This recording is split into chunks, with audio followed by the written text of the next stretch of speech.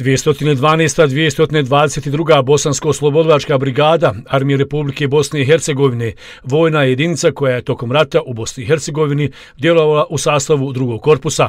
Ulazla je također u sastav operativne grupe 2 i 22. divizije. Formirana je 3. decembra 1993. godine naredbom komandanta štaba Vrhovne komande kao 212. Bosanska brigada. U njen sastav ušle su manevarske jedinice 109. Brske, 111. Brske brigade i 217. Brske brigade Lukavac. Kasnije će dobiti naziv 222. Bosansko-oslobodlačka brigada. Djelovala je u više zona odgovornosti. Najznačajnije rezultate postigla je na Ozransko-Trabamskom i Sarajevskom ratištu. 30. godišnjica od formiranja ove brigade obilježava se javnim, kulturnim, vjerskim, ali i sportskim manifestacijama na području gradova Lukavac i Gračaranca te općine Doboistok.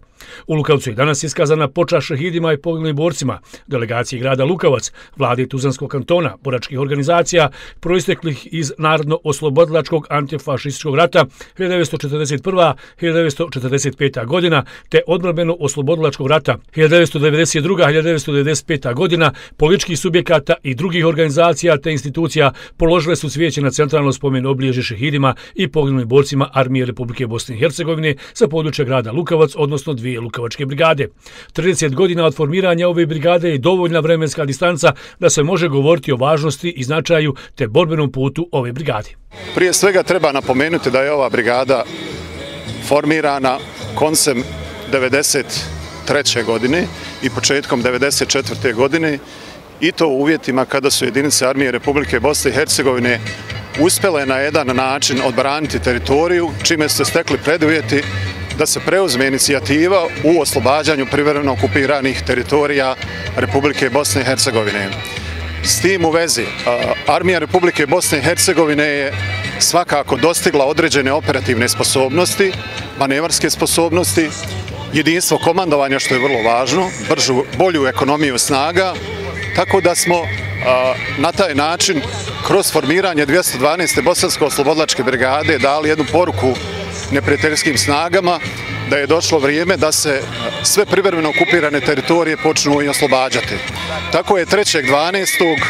1993. godine naređenjem komadanta štaba Armije Republike Bosne i Hercegovine formirana 212. Bosansko-Slobolačka brigada formalno pravno, u čiji sastav su u to vrijeme ušli borci iz jedinica tadašnjih posadnih snaga 117. Brske brigade Lukavac, 111. Brske brigade Gračanca i 109. Brske brigade Doboj Istok.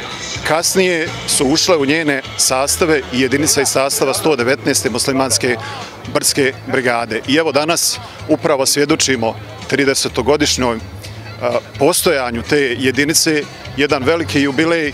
Ona je u pravom smislu te riječi oslobodilačka. Ona nije čuvala linije, ona je osvajala linije neprijatelja i zbog toga je specifična i posebna.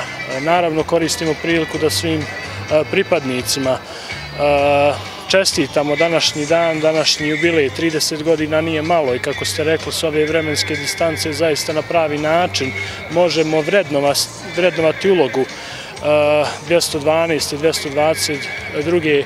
E, brigade. Ona je imala velik značaj za ovo područje Lukavca, Gračance i Dobo Istok, ali naravno mnogo širi. E, pamtimo svi i zabilježili smo Eh, one ključne operacije koje su važne za ove područje, dakle vis, skresci, trepale, vijenac, stambeni, sve su to dakle tačke koje su bile mnogo važne eh, u odbrani ovoga područja, a koje su bile oslobađene od strane ove naše jedinice i zbog toga je eh, i značaj današnjeg dana i svega onoga što su radili za nas nemjerljivo ono što ne možemo pročitati u učbenicima, što naša djeca ne mogu da to tamo ovaj pročitaju, nauče upravo evo kroz ove događaje koju, evo, koje organizuju živi svjedoci odbrane Bosne i Hercegovine na ovakav način i propagiraju dakle ideju E, jedne čiste odbrane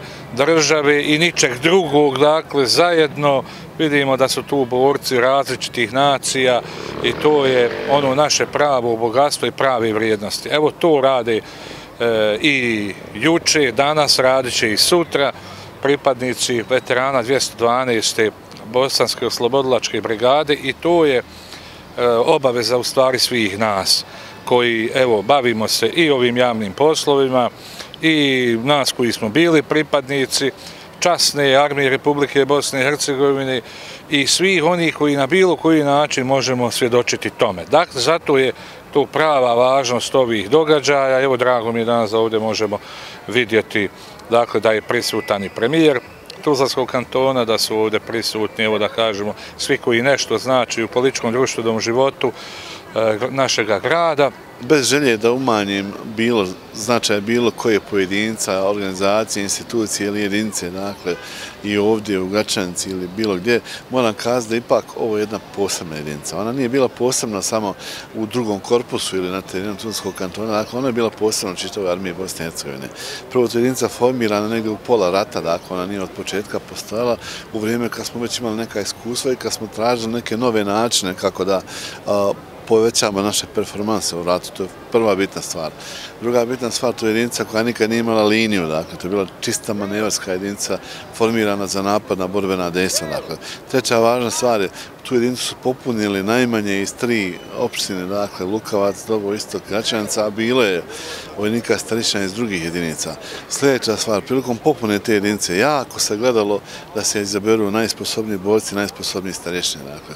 Ja sam svjedok da je prilikom upotrebe te jedinice sa strašno mnogo pažnje pripremana svaka aktivnost. Nekad je to znalo nervirat, nekad je to znalo danima ili sedmicama trajat, nešto što bi druge jedinice krenulo onako u skoku da to rade. Oni su radili vrlo sistematično, dokumentovano, organizirano, pripremano, tako kad se gleda ono što još izdvaja u jedinicu.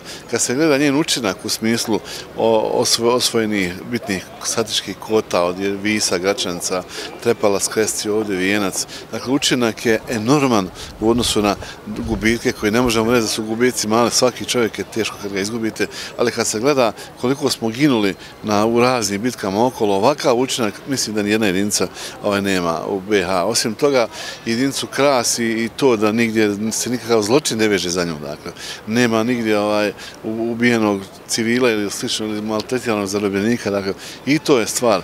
I ono što je ostala bolna rana, evo, ta jedinica imala nesreću da je prilikom borbenih dejstava koje smo izvodili pri napadu na Majevici, pokušaj oslobađanja releja stolice, jedinica je bila locirana u kas, kasadnje husinski rudar i kad je dobila narod da se uvede borbeni poredak, kad smo probili linije, kad je trebalo praktično da završimo Majevicu i možda bismo i dobijene sišli, jedna granata je pogodila vojnika u stroju i veliki broj naših mladih vojnika je poginuo tom prilikom i taj broj je, kad se gledaju ove statičke stvari, je stvar najveći teret, a on nije plod odgovornosti, nesučnosti ili neopreznog djelovanja ove jedinice.